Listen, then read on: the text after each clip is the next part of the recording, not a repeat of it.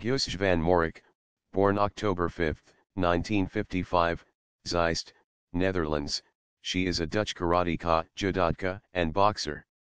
She has a fourth Dan black belt in karate, and is the winner of multiple world karate championships, and is the in the Guinness Book of Records for winning the most karate medals. She was four times world champion, six times European champion and 25 times national champion in this discipline in the class 60 kilograms. Also, she was once taiko, Japanese drumming, world champion and won several medals at the Dutch Judo National Championships.